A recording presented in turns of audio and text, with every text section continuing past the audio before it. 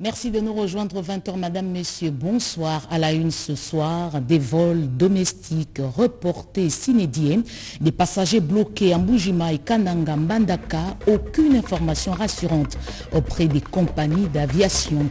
Bousculade aussi devant le siège de Bruxelles Airlines. Les passagers ne s'expliquent pas le départ de l'avion lundi soir uniquement avec les bagages. L'hôpital de Loloa n'est pas fermé. Le personnel observe un service minimum contrairement à ce qui est raconté. Par contre, l'axe commandant Mambassa, les FARDC ont convoyé les véhicules aujourd'hui. L'administration militaire maintient la suspension du trafic sur ce tronçon où l'armée procède aux opérations de ratissage août 1998, 1200 personnes ont été massacrées à Kassika au sud Plus de 22 ans après, les morts réclament le pardon des bourreaux. Les faits se sont produits à Mwenga. Les partisans du RCD ont été désignés comme des auteurs dans un livre blanc. Voilà tout pour le sommaire. Madame, Monsieur, bonsoir et merci de votre fidélité. Un leader de EDF et ses compagnons terroristes ont été arrêtés par les forces armées lors des opérations dans la région de Boga et Walesa au sud d'Irumu. Ces malfrats ont été présentés au gouverneur militaire Joseph Oscar Mbalkeich mené par les forces armées est à la hauteur des ententes de la population de l'Ituri. Un leader des ADEF capturé avec plusieurs effets militaires à Kandoyi, dont la chefferie de Walese Vonkutu, au sud du Romo, et deux autres éléments de ces mouvements terroristes appréhendés dans la région des Boga lors des opérations ont été présentés ce mardi au gouverneur militaire de l'Ituri. Ces chefs rebelles et ces éléments opéraient aux abords de la rivière Ituri, a dit le lieutenant Jules Ngongo, porte-parole de FARDC en Ituri. Le pont Ituri, à un certain moment, été devenu le couloir de la mort, où les ADEF voulaient prendre cet espace pour mener leurs actions. À chaque fois, ils font leurs incursions. Et lorsque nous poursuivons ces ennemis, on était deux fois surpris qu'ils ont déjà traversé de l'autre côté. Et alors, c'est grâce à ces dinghies qui constituaient en fait euh, l'élément moteur de leurs actions. Au gouverneur militaire de l'Ituri, le lieutenant-général Luboya Kashamadjoni de profiter de cette occasion pour appeler les groupes armés locaux favorables au processus TP de respecter leur engagement.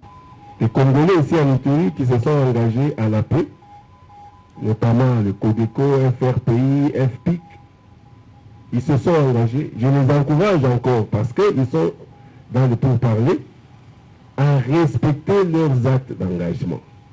Pour nous, l'armée, nous suivons les ordres du chef, le je veux du chef.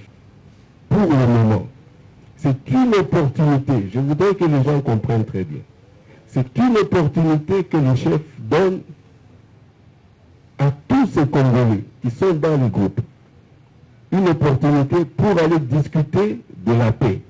En l'espace d'une semaine, plus de 20 ADF ont été neutralisés par l'armée à Irumu et. De nombreux autres ont été capturés.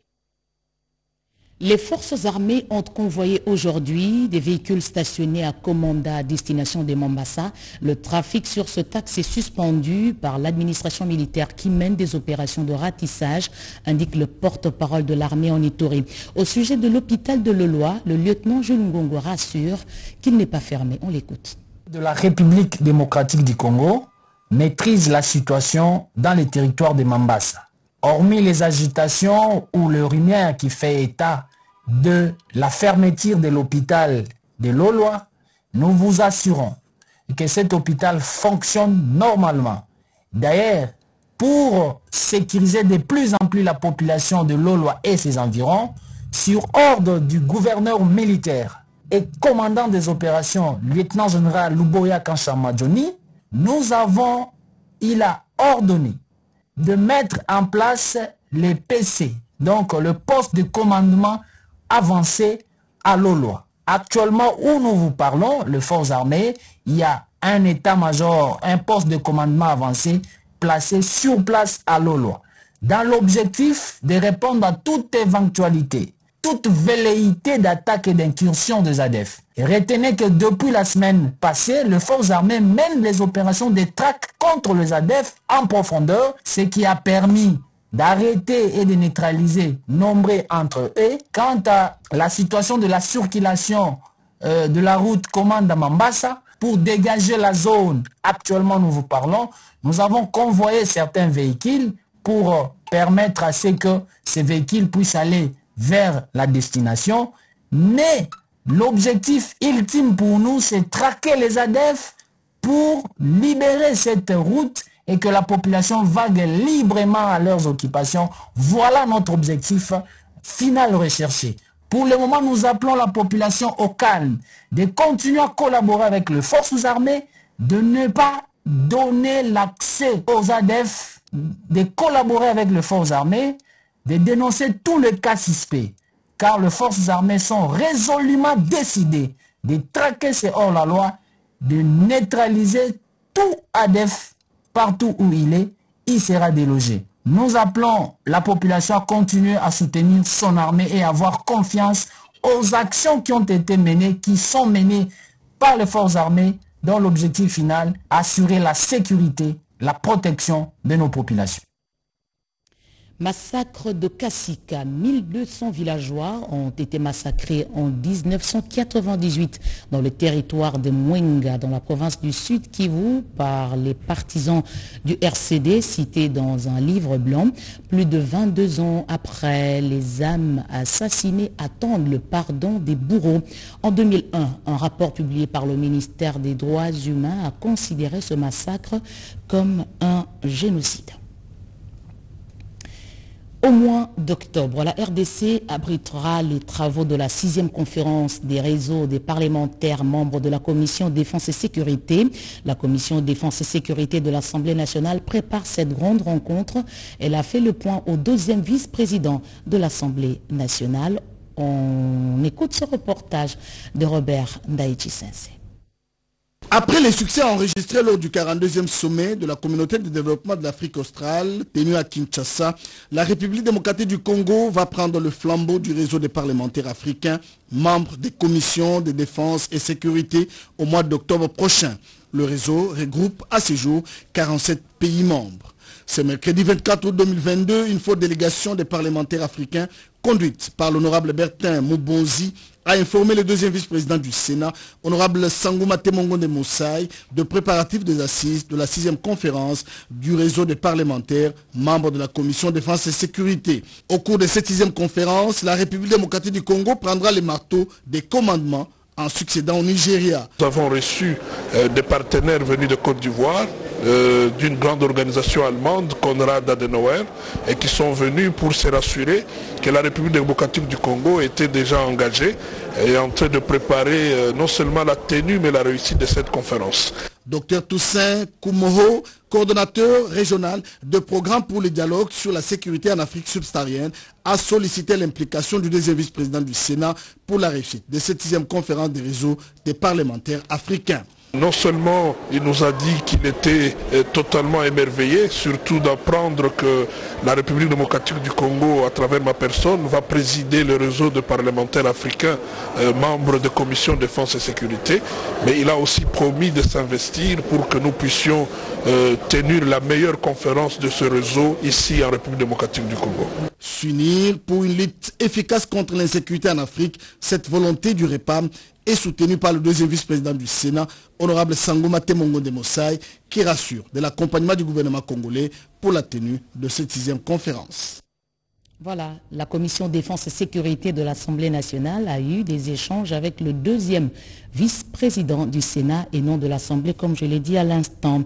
Jean-Michel Samaloukonde Kienge a regagné Kinshasa. Le Premier ministre a passé 48 heures à Kipushi, Pati Tondongo Kizunda. Marcel Moubenga, bienvenue le Sala revienne sur les dernières activités du chef du gouvernement. Faire l'état des lieux de la province du Haut-Katanga sur les plans social et sécuritaire, c'est la raison d'être de la réunion provinciale de sécurité qu'a présidé le Premier ministre Jean-Michel Samaloukonde Kienge avant de regagner Kinshasa. Cette rencontre élargie au gouverneur de la province Jacques Kaboula a, selon les chefs de l'exécutif national, abordé entre autres la question des criminalités et des banditismes urbains.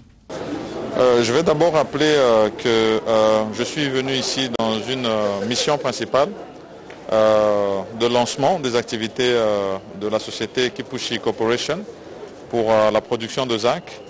Et cette visite s'inscrit bien sûr dans la droite vision de son Excellence Monsieur le Président de la République en ce qui concerne non seulement la création d'emplois, l'investissement, l'amélioration du climat des affaires et surtout des opportunités économiques pour notre jeunesse, particulièrement celle du territoire de Kipushi où nous sommes ici.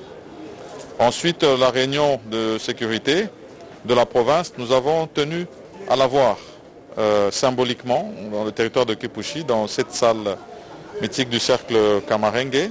Ce qui ressort, euh, c'est qu'il y a un travail accru à faire en ce qui concerne la lutte contre la criminalité et euh, le banditisme urbain. Ensuite, euh, d'autres phénomènes euh, comme euh, ceux des Bakatakatanga, sur lesquels aussi les services de sécurité travaillent pour complètement les éradiquer. Les questions d'ordre social, notamment celles liées au panier de la ménagère, n'étaient pas en reste lors de cette rencontre d'équipe Pouchy que le chef du gouvernement a qualifié de symbolique. Mais nous avons évoqué aussi d'autres sujets de l'heure.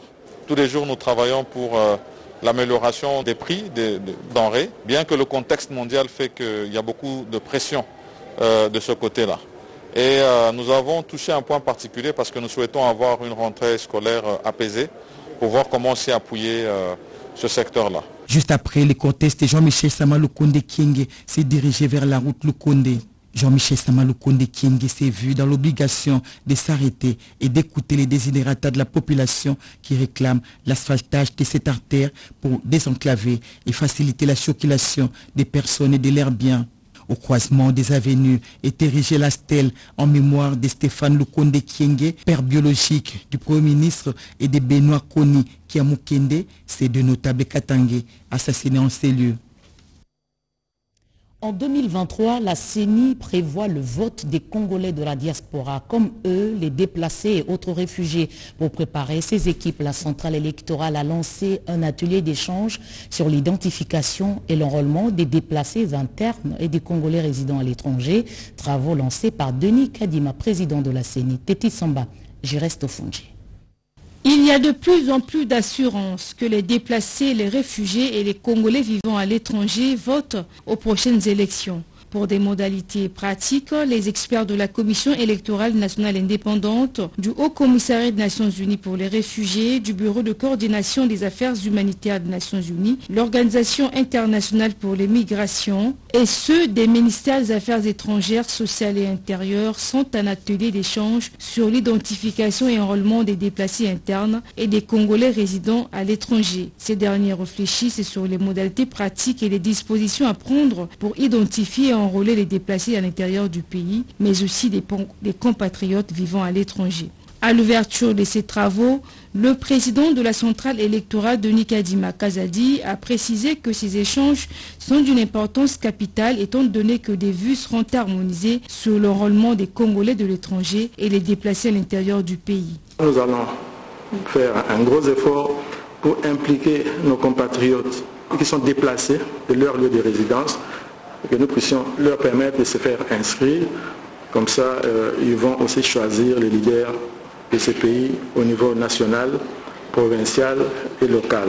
Ces experts ont exposé chacun sur le thème en rapport avec son domaine, des échanges fructueux au dire des uns et témoignages des participants. Peu avant, le rapporteur de la CENI, Patricia Amoulela, a souhaité la bienvenue aux participants. Elle a à cet effet spécifié l'objectif de ces assises. Fin du séjour de Olusegun Obasanjo à Kinshasa, 72 heures dans la capitale congolaise, l'ancien président du Nigeria a été visiter les installations de l'Institut international d'agriculture tropicale. Cette structure apporte une assistance technique à la transformation agricole initiée par le chef de l'État Félix-Antoine Tshisekedi Patrick Michel Mokoui. C'est ici, à Kimpoko, dans la périphérie de Kinshasa, que le président honoraire du Nigeria a bouclé son séjour de 72 heures à Kinshasa. Olusegun Obasanjo, connu pour son attachement à l'agro-business, a tenu à visiter le centre de recherche en agriculture, un des partenaires de l'Institut international d'agriculture tropicale, ITA. Cette structure intervient dans la multiplication rapide de sémences de manioc en plantules sains de manioc en utilisant la technologie dite semi-autotrophique, ce dans le cadre de la transformation agricole de la République démocratique du Congo, initiée par le chef de l'État Félix-Antoine Tshisekedi. Le projet ATA, qui est revenu dans la discussion entre le président Tshisekedi et Olusegun Obasanjo, consiste à mettre en place un système sémencier garanti de semences disponibles, certifiées et issues des résultats récents de la recherche, avec un potentiel de rendement élevé.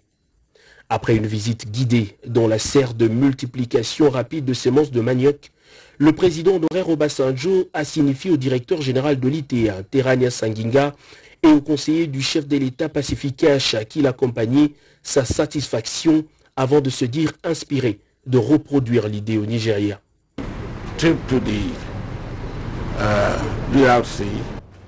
Mon arrivée ici au RDC est d'abord de rencontrer mon frère, le président de la RDC, Félix-Antoine Tshisekedi, afin de le féliciter de vive voix pour son accession à la présidence de la SADEC, qui est un mandat important, et je suis convaincu qu'il amènera la communauté à un niveau plus élevé. Aussi, le président et moi avons discuté en long et en large sur les problèmes de sécurité que traverse l'Afrique en général et la RDC de manière particulière. Et comme vous le savez, quand il y a des problèmes de sécurité, nous ne pouvons pas garantir la sécurité alimentaire ni nutritionnelle. Donc les efforts qui sont en train d'être fournis dans le secteur agricole a besoin que nous ayons un climat de paix. Je suis très content de ce que je viens de voir ici. Je salue les efforts du chef de l'État pour son implication personnelle à ce programme ATA RDC. L'ex-président, qui est un des opérateurs économiques du manioc au Nigeria, a apprécié à sa juste valeur l'idée ingénieuse du chef de l'État de procéder à la transformation agricole de la RDC, source des revenus, des richesses et d'emplois. De la reconnaissance pour les sacrifices à la nation, 37 jeeps ont été remises aux officiers généraux des FARDC, aux retraités et actifs.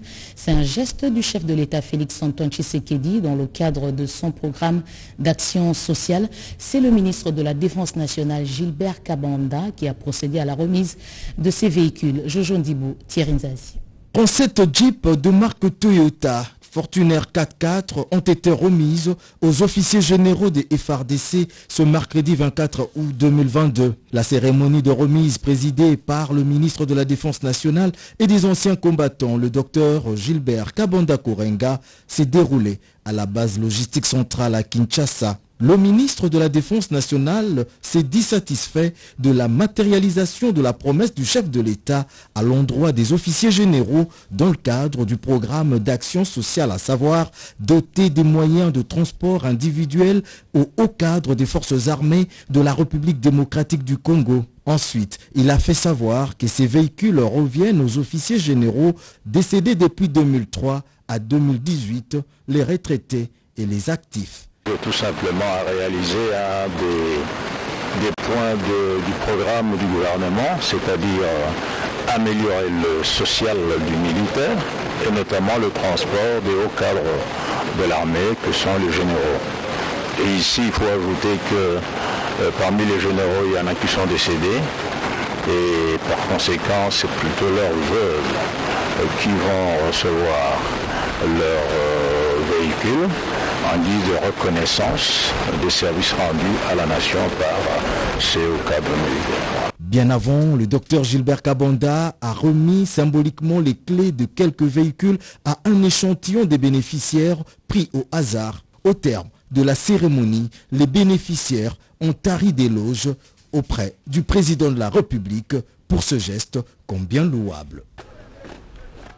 Et puis, cette annonce, la Direction générale de la dette publique porte à la connaissance des candidats ayant déposé un dossier dans le cadre du processus de constitution de sa réserve de recrutement qu'ils doivent consulter le site www.dgdp en minuscule-de 6 rdc minuscule.org, en particulier les, les, listes des candidats retenus pour participer au test de sélection qui se tiendront le dimanche 28 août 2022. Chaque candidat sera informé par mail un QR code destiné à lui permettre d'accéder au site d'organisation des tests qui lui sera communiqué. Tout candidat retenu qui n'aura pas reçu son QR code au 22 août 2022 euh, devra le réclamer au plus tard le 24 août, donc aujourd'hui, à l'adresse suivante dgdp.abnrecrutement.com. Cette annonce est signée par Laurent Batumona. Comment trouver un cadre de concertation entre tous les organes de contrôle financier? Le premier président de la Cour de compte a échangé autour de cette question avec Nicolas Kazadi, ministre des Finances. Dans le cadre de leurs prérogatives respectives de contrôle que le premier président de la Cour des comptes, Jimmy Mungangangwaka, et le ministre des Finances, Nicolas Kazadi, ont eu une séance de travail ce mercredi 23 août 2022 en vue d'harmoniser sur la reddition des comptes déposés par le gouvernement et que la Cour des comptes devrait de son côté examiner et déposer à l'Assemblée nationale dès l'ouverture de la session budgétaire devant débuter ce 15 septembre sont faites dans le cadre de, des contacts que la Cour des comptes a décidé de prendre avec euh, un certain nombre de personnalités qui interviennent euh, à l'élaboration, à l'exécution et au contrôle du budget. Et comme vous le savez, euh, le ministre des Finances joue un grand rôle, n'est-ce pas, dans le budget. C'est fait le contrôleur général du gouvernement.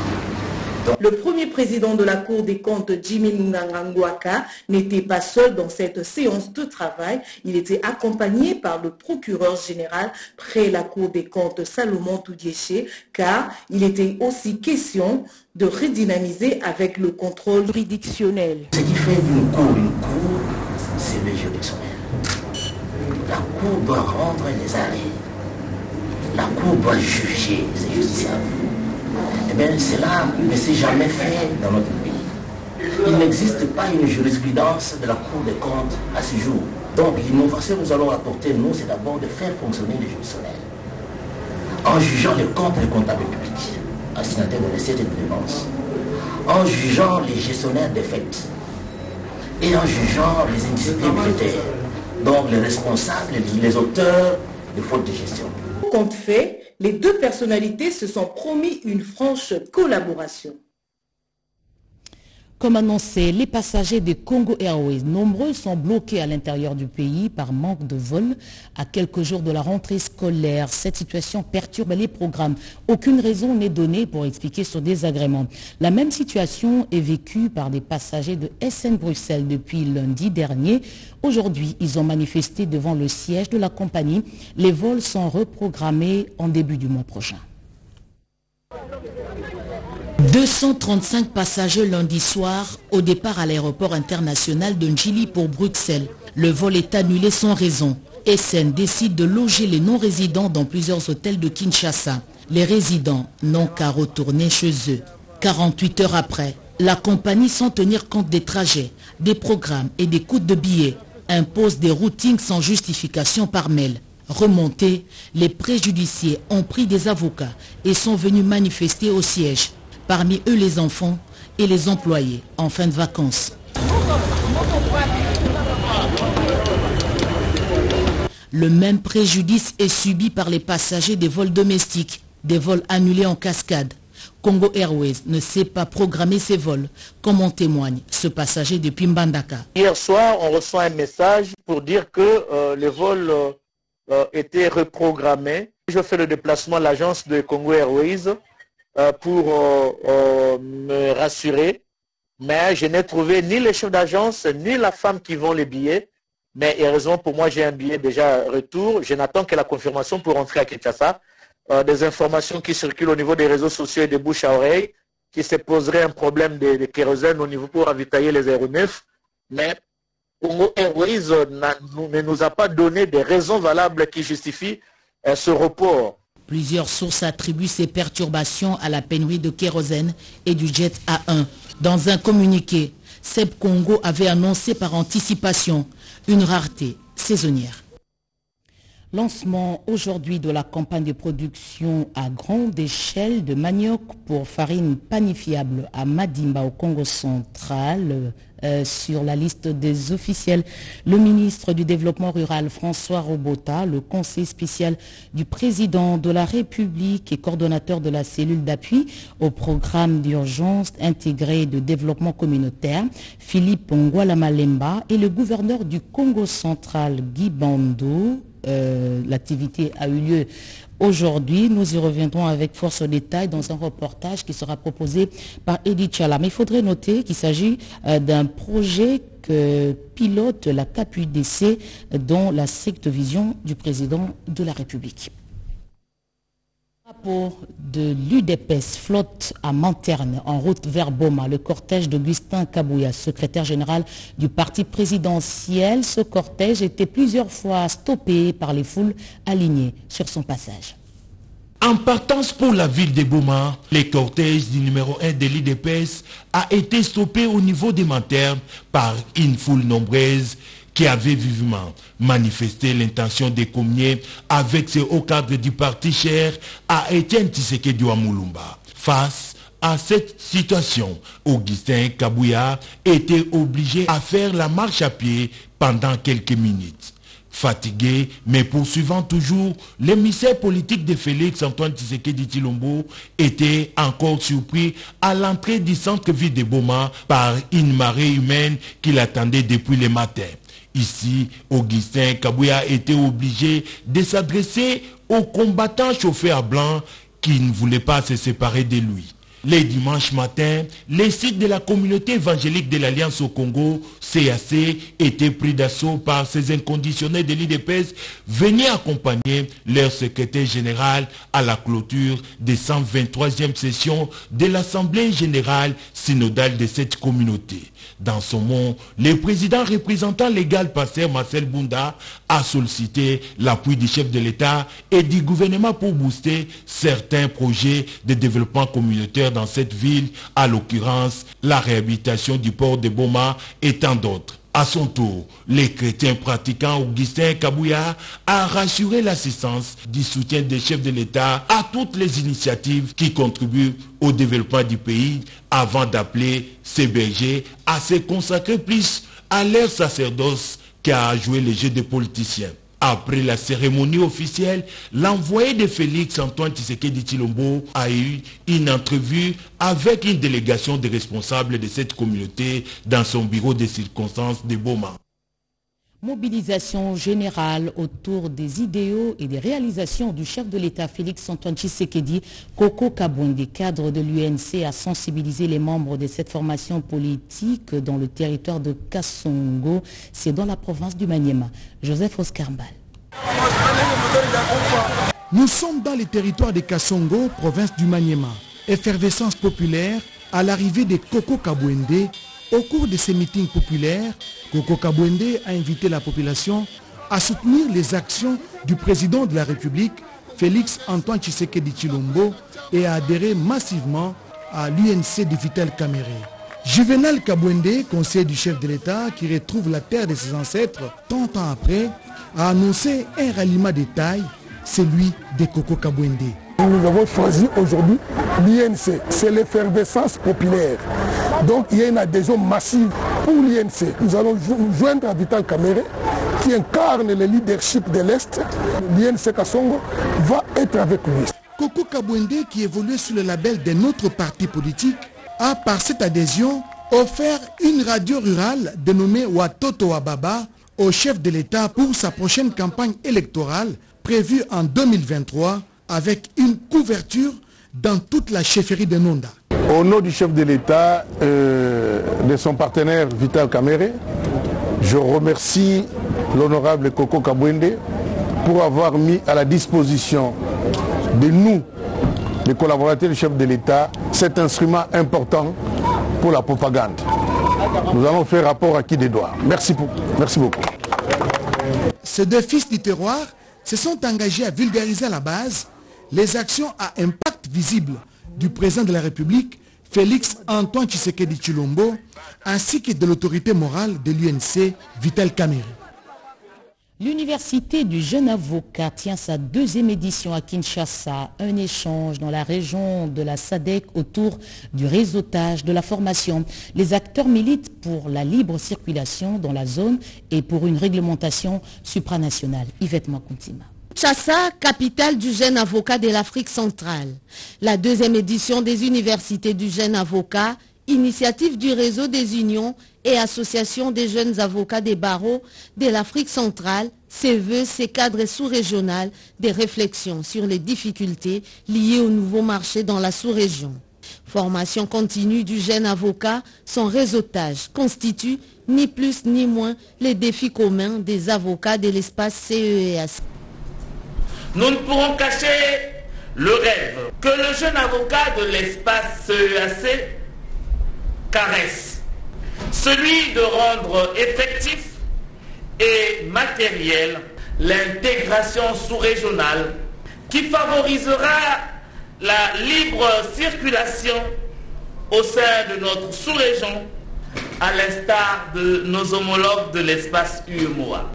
Nous croyons ce rêve d'avoir dans un avenir proche une réglementation supranationale qui conduira nos barreaux respectifs à sortir du joug des lois nationales. Autour du thème, le jeune avocat face au marché de nouveaux droits, les participants vont s'employer à l'intégration et uniformisation des replis professionnels. Les réseaux des unions et associations des jeunes avocats des barreaux de l'Afrique centrale s'est vu les cercles s'agrandir à 15 États unis pour une vision commune. Le répertoire opérationnel des métiers est en construction. Pour y parvenir, le ministère de la formation professionnelle tient un atelier d'actualisation de la note de cadrage et de rédaction de la feuille de route. Membres du gouvernement, experts de la présidence de la République, députés et sénateurs, corps diplomatique, l'administration du ministère de la formation professionnelle et métiers, tous ont pris part à ces rendez-vous historiques pour la formation professionnelle en République démocratique du Congo. En son allocution, la ministre de la formation professionnelle a précisé que l'élaboration du répertoire opérationnel des métiers débouchera à coup sûr sur les référentiels des métiers innovants. Il vient à point nommé, selon elle, avec comme but de révisiter la note des cadrages qui constitue l'outil essentiel du travail qui a été élaboré depuis 2014 par le ministère du Travail, Emploi et Prévoyance sociale. Par la même occasion, la patronne de la formation professionnelle et métier a invité les différentes directions de son ministère de s'approprier les résolutions qui sortiront de cet atelier. En effet, créé en 2014, le ministère que j'ai la charge de diriger comprend actuellement deux secteurs principaux, à savoir la formation professionnelle et les métiers, qui constituent le fondement de la vision du président de la République, son Excellence Félix Antoine Tshisekedi Chilombo, chef de l'État, à qui je rends mes hommages les plus déférents. La valorisation des métiers constitue une approbation efficace qui permet à s'assurer que chaque citoyen congolais, peu importe son âge ou sa situation sociale, soit formé et qualifié pour un emploi ou un auto-emploi. Il faut noter par ailleurs que cet atelier se tient à quelques jours seulement du lancement de la session ordinaire de l'examen national des fins d'études professionnelles. Programme de développement des 145 territoires en République démocratique du Congo, Désiré Cachemire, Kolongele Eberande, ministre du numérique, séjourne dans la province du Kwilu. Sur place, il a également sensibilisé la population sur l'unité. Il faut faire preuve de mauvaise foi manifeste pour ne pas admettre que la ville de Boulungu, chef-lieu du territoire qui porte le même nom, est tombée sous le charme d'un parmi ses dignes fils qui a repris contact avec la terre de ses ancêtres. Pas étonnant que le déplacement du professeur Dr Désiré Cachemire Kolongué Leberande soit introduit par une bénédiction ancestrale suivie de la remise des symboles du pouvoir coutumier. On ne s'est pas arrêté là parce que une chaise civière, pour ne pas dire les tipoi, avec effigie du chef de l'État, Félix Antoine Tshisekedi Lombo, est venu renforcer l'image du soutien sans condition des populations de Boulungu à Félix Tshisekedi, mais aussi la récupération totale du territoire de Boulungu en faveur du président de la République. Au point des chutes, la place de la tribune après le mot de bienvenue de l'administrateur du territoire et de l'honorable Célestin Nassa et Yumbu, la population était là pour suivre l'ambassadeur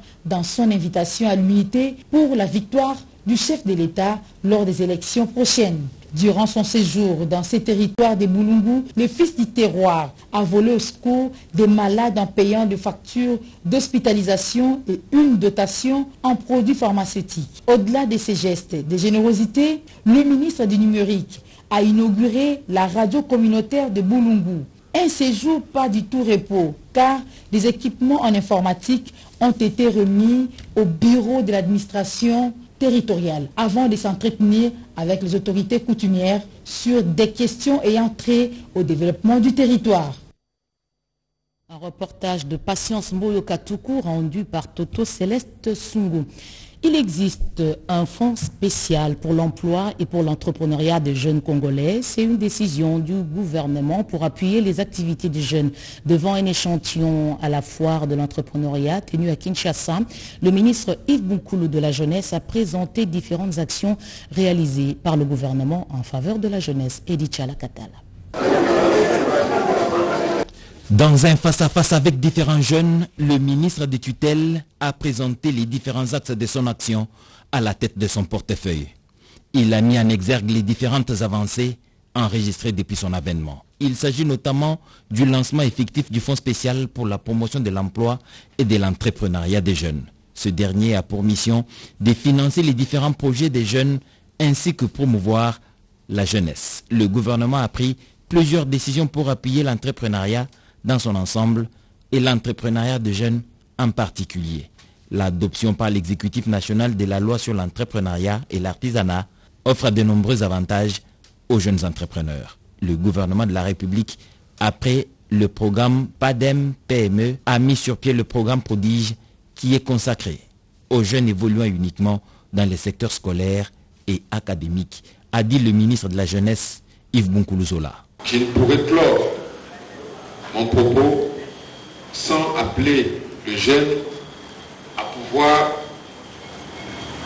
utiliser activement les différentes opportunités qui sont offertes. Ces détails ont été présentés aux jeunes pour les inciter à saisir différentes opportunités à l'occasion de l'ouverture de cette foire de l'entrepreneuriat de jeunes. Le ministre de la Jeunesse et Nouvelle Citoyenneté, Yves Bonkoulouzola, a bouclé son premier jour des travaux avec la visite des stands des différents jeunes dans l'enceinte de l'INPES.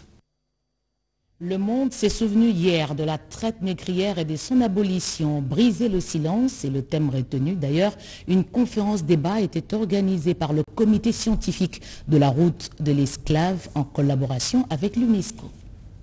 C'est à l'occasion de la journée mondiale du souvenir de la traite négrière et de son abolition commémorée chaque 23 août de l'année que le comité national scientifique de la route de l'esclave, coordonné par le professeur Théodore Ngoyi Ilunga, a organisé ce mardi à Kinshasa autour du thème retenu pour cette année, briser le silence. Par la même occasion, le ministre de l'Enseignement supérieur et universitaire, son Excellence M. Moïndo Nzangi, a tenu un discours vibrant en disant que la vraie histoire de notre pays, la République démocratique du Congo, doit être écrite par nous-mêmes le Congolais.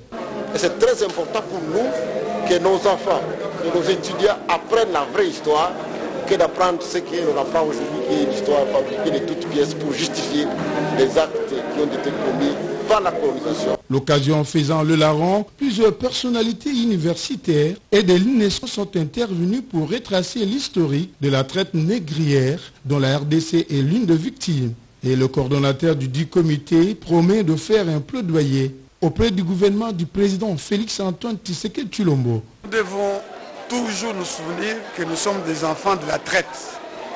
Ce que nous sommes, c'est l'œuvre de la traite négrière. Nous allons, avec euh, le gouvernement actuel, réintroduire un programme d'enseignement des traites, l'histoire des traites dans toutes les universités, dans toutes les facultés, dans toutes les écoles secondaires et primaires. Rappelons que cette journée mondiale du souvenir de la traite négrière et de son abolition constitue pour les Africains une journée de réflexion commune. Investir dans le capital humain, les experts du secteur de l'éducation sont rentrés à l'école pour renforcer les capacités sur l'éducation environnementale, notamment un atelier organisé par la structure des Bouts Grand Lac. Anastasie Doumbou. La consolidation et pérennisation de la gratuité de l'enseignement ainsi que la lutte contre les antivaleurs. C'est autour de ces thèmes clés des voûtes que se sont tenues les assises de la revue annuelle des performances de la province éducationnelle de Kinshasa-Funa. Acteurs et partenaires éducatifs de cette province éducationnelle ont cogité largement sur les résultats obtenus dans chaque pan de la matière éducative en vue de mettre en place un plan d'action opérationnel, mais aussi et surtout évaluer la gestion du système éducatif au niveau provincial. Un travail encouragé par le directeur provincial de l'EPST Funa, Robert Kongi. Ces assises se tiennent pour évaluer le fonctionnement et la gestion du système éducatif au niveau de la province éducationnelle. Elle offre en même temps une opportunité à toutes les parties prenantes à l'éducation de la jeunesse congolaise pour évaluer le fonctionnement, le pilotage, la gestion du système éducatif au niveau provincial. C'est là pour en découvrir les forces, les faiblesses, en vue d'élever des dispositions ou d'options de façon responsable en dehors des partenaires, ces assises ont connu la participation du représentant du ministre provincial de l'enseignement primaire, secondaire et technique qui a par ailleurs ouvert les travaux. On termine par ce reportage qui relance le débat autour de la modification de quelques articles de la Constitution sur les élections. RDC élections 2023, besoin de changements plutôt que de l'alternance. Cette problématique liée au processus électoral emballe tous les Congolais de toutes catégories. Diverses considérations ont motivé les modifications de la loi électorale en cours. Le seuil d'un pour cent à atteindre sur le plan national aux législatives, la caution de 100 000 dollars américains à la présidentielle sont des mesures discriminatoires qui entravent l'élan démocratique. Les articles 22, 104, 118 et 121 de la loi de 2006 portant organisation des élections générales en RDC ont été présentés à la Cour constitutionnelle par Maître Lonieka Ekofo et Maître Ekofo Patrick au nom de Mutabazi pour inconstitutionnalité. Nous venons du greffe de la Cour constitutionnelle où nous avons été déposés une requête en inconstitutionnalité au nom et pour le compte de notre client, M. Sekimonyo Mutabazi, qui nous a mandaté pour euh, déposer une requête en inconstitutionnalité contre euh, les articles de la loi dite électorale. Notre client estime que ces dispositions légales violent la Constitution en ses articles 11, 12 et 13, en ce que ces dispositions de la loi dite électorale instituent un seuil de recevabilité de 1% pour euh, l'attribution des sièges, un seuil de 1 de suffrages exprimés sur le plan national pour euh, bénéficier de l'attribution des sièges et un cautionnement très élevé, plus de 100 000 dollars pour être candidat aux élections présidentielles. La démocratie est un marché concurrentiel d'idées pour répondre aux besoins particulièrement de développement social et économique de la nation. Les privilèges est réservé à tous. Note de culture pour atterrir en douceur. La culture socle de la paix et de la cohésion nationale a été célébrée avec faste. Je vous emmène dans les territoires d'Idiofa. Il y avait du beau monde samedi 20 août en cours à la FEKIN, foire internationale de Kinshasa. Hommes et femmes, jeunes et vieux, tous ont répondu présents à la journée culturelle Banama une initiative du député national Dédé Mopassa, Luko Bongankoy, élu du territoire d'Idiofal, province du Kouiloum et président de l'association socioculturelle Banama. Entendez, les enfants d'une même mère, d'une même patrie, d'un même terroir. La joie était à son comble. Cette journée était placée sous le thème La culture, socle de la paix et de la cohésion nationale. Selon le président des Banama, l'objectif poursuivi est de renforcer les liens d'amitié et de vivre ensemble dans la communauté, mais aussi lutter contre les tribalismes, le népotisme et contre toute autre antivaleur. Outre la musique et la danse, cette matinée culturelle a été marquée d'une pierre blanche, à savoir la cérémonie de bénédiction et de remise de pouvoir au député national Dédé Mopassa par les chefs traditionnels et chefs coutumiers de la RDC présents à cette manifestation. Les fois, ils s'engagent à être derrière le chef de l'État. Vous avez suivi le Panama comme cadre, s'ils s'engagent à être derrière le chef de l'État, qui prend le développement en 145 territoires, qui veut voir les Congolais dans l'unité afin de gagner la paix et rien que la paix pour le développement du pays. Plusieurs groupes musicaux et orchestres traditionnels et folkloriques de différentes tribus ont pris part à cette rencontre culturelle. L'Église Bon Nouveau Message KCC a le regret d'informer la communauté nationale, internationale et les fidèles KCCistes en particulier le décès de son chef spirituel et fondateur. Visible, le prophète de l'Éternel, son éminence d'isoler les Mpungu Wafi Dousoua Isaac, mort survenu le samedi 20 août 2022 dans la soirée. Actuellement, le corps de l'hélice disparu est gardé à la morgue. En attendant le programme des obsèques, un livre de condoléances est ouvert en la, en la résidence de l'hélice disparu, 614 avenue Grand Séminaire, quartier Rigini, dans la commune de Lemba, c'est à Kinshasa. Le présent communiqué tient lieu de faire part et être signé par son éminence d'isoler Limpungu Isaac, premier souverain pontife de l'EBNM. Merci de nous avoir suivis. Restez fidèles à la RTNC.